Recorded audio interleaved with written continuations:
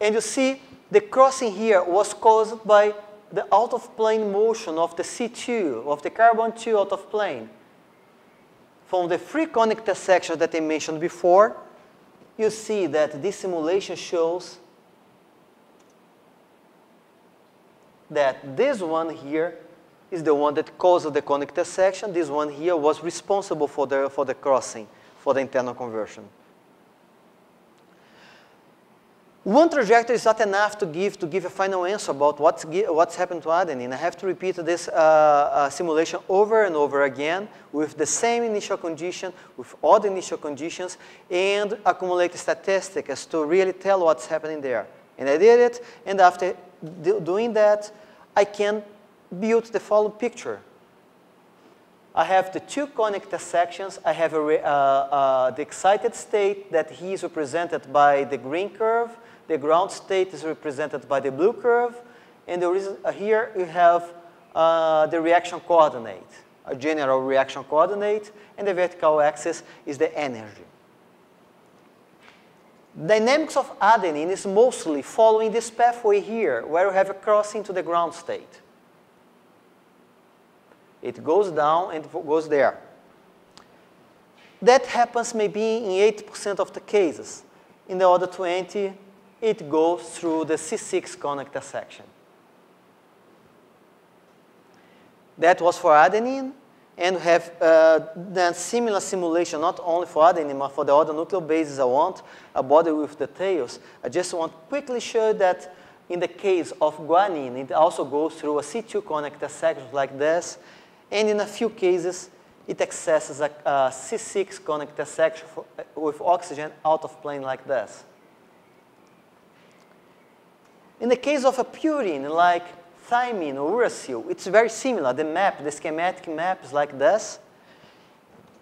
And in the simulation, half of the trajectories that I simulate goes in a way like this, while the other half goes in a way like this. You see there is a complete split. Instead having a main pathway like in purines, I have a split between two pathways.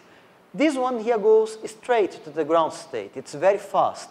But this one here, it goes to this minimum of the excited state, and from there, it can go either uh, uh, back to that first pathway or cross to the secondary pathway here.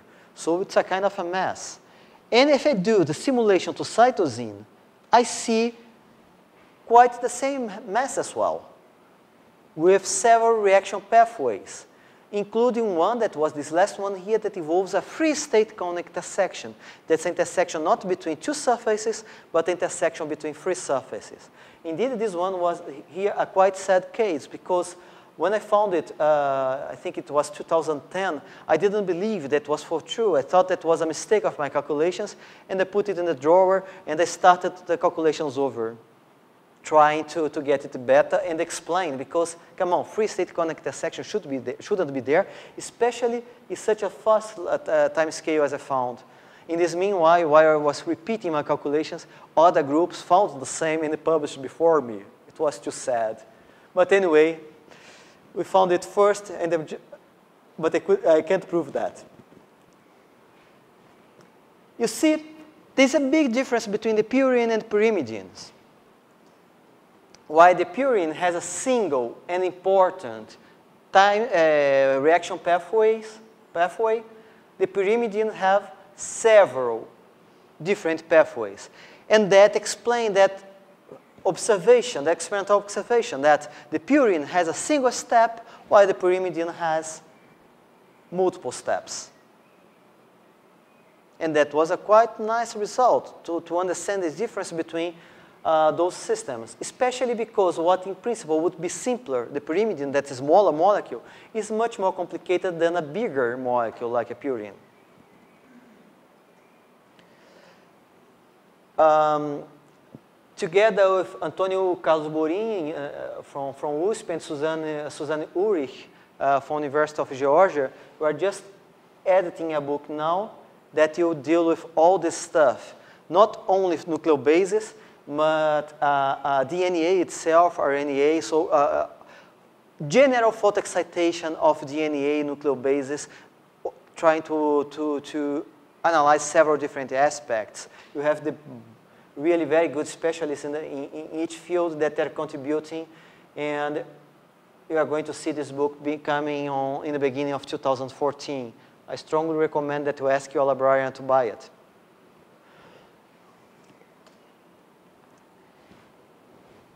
So, let me tell you how those simulations were done. I work with surface hopping simulations. In surface hopping, what I try to do is to simulate uh, the propagation of a wave packet. You can do uh, the full propagation of the quantum equations of the wave packet dynamics. So what we do is to propagate classical tra trajectories. But if I make classical trajectories on a Born-Oppenheim surface, those tra uh, classical trajectories always go over a single surface.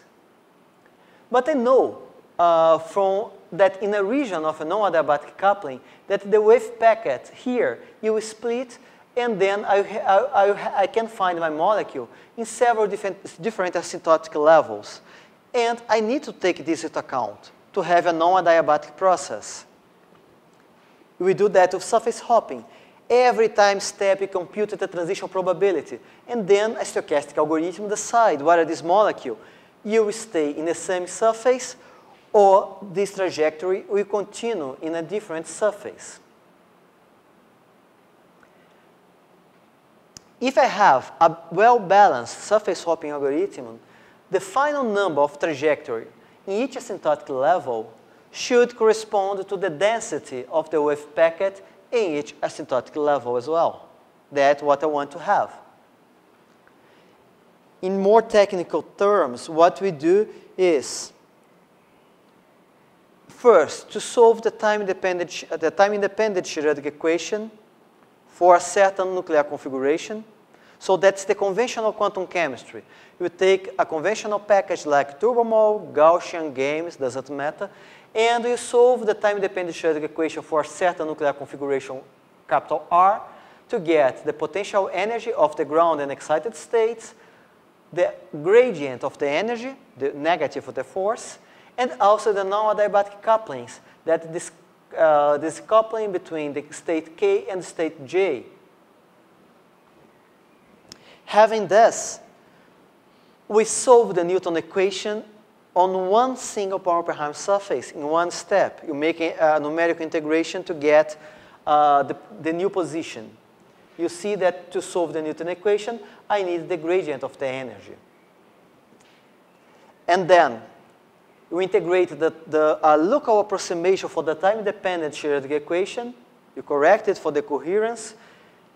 The equation looks like this without the, the coherence correction. You see that to solve it, I need the energies, the potential energies, and I need the couplings, and I need the velocities that came from the previous step. Then I can solve my, for my coefficient C. Having the coefficient C, I can use them to compute the transition probability that's given by this formula here with the fewest switch model developed by, uh, proposed by Tully in 1990. And the C comes here together with the coupling and the velocity. And now that I have the transition probability between the states, I can apply a stochastic algorithm that means to sample to pick up, to pick a random number, compare this random number to the probability to decide on which surface I should continue my trajectory. This was one-step integration. Now I have to repeat every integ uh, this integration till the end of the trajectory, and then repeat over several trajectories. The bottleneck for the, for, for the process is step one. That may take hours, depending on the molecule. The surface hopping is a method that splits the dynamics into a classical part and a quantum in a quantum part. The classical part are the nuclei, you, in general, don't need to be, but in general they are the nuclei. And the classical part are the electrons, the fast coordinates. It's used uh, for atomic and molecular collisions Indeed, the origin of the surface hopping was really in this field here. Uh, it was used by physicists to solve collisions of, between atoms and molecules. But since the 90s, it started to be used mostly for molecular photochemistry and photophysics. And nowadays, it starts to be used in condensate phase uh, uh, uh, uh, problems as well, like nanoparticles and so. You can get an overview in this review here that I published a couple of years ago that gives uh, many references that can follow and know more about surface hopping if you wish.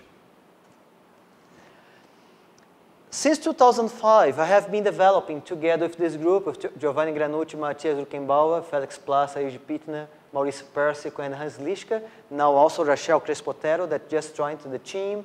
Uh, this, this program called Newton-X. That's a program for uh, Newtonian dynamics close, uh, close to the crossing seam. The Newton-X program is a program specialized in surface hopping dynamics.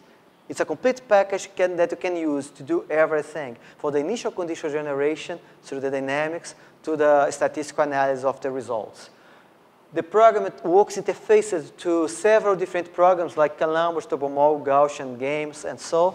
And you can make surface hopping dynamics with several different electronic structure methods like MRCI, MCSCF, TDDFT, CC2, ADC2. ADC2 is just coming now in the new, in new, newest version of Newton-X.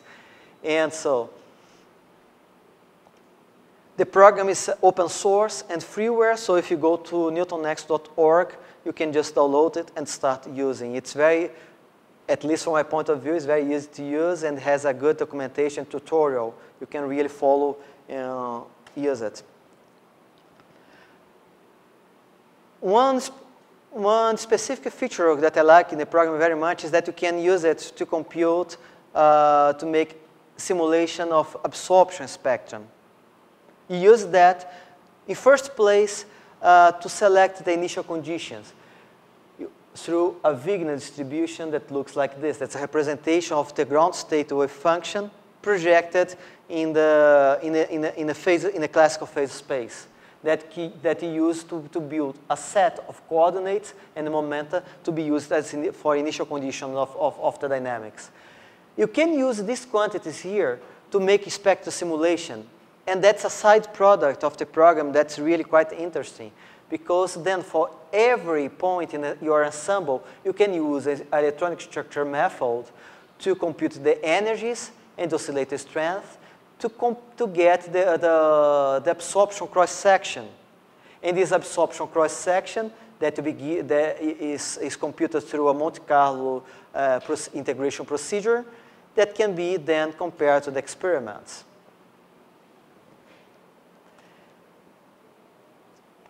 You can use it not only to get the absorption cross-section, but even ionization cross-sections, as in, the example, uh, in this example here that's a photoionization cross-section of, of uh, 3-methyl phosphate that was a collaboration of the group here in, in, in São Carlos, Gustavo, Alejandro, and also Lee and Yvonne, uh, that published uh, uh last year. You see, it was a, a, it's a quite nice case because in the case of the experiments, they were able to measure from here, that's about 12 EV to higher, uh, to higher energies, and they couldn't do because the, the, the uh, experimental limitations. Well, in the, in the theory, you could, you, could you could predict from 5 to 16. And both sets of results, the, uh, uh the theoretical and experimental, they are quite complementary. And I should point out that here you don't have any normalization. Both of them, theory and experiments, they have absolute units in megabarn. So it's really absolute cross sections that are measured and simulated, not relative.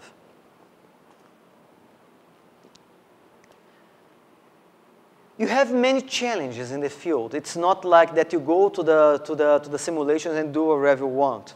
No, it's really quite a lot of work. And one of the main uh, troubles is that you have many uh, methods and you have to find a compromise between accuracy and available computational time. You have very fast methods like semi-empirical methods in this extreme, and you have very uh, slow methods like the uh, ab initio MRCI, for instance.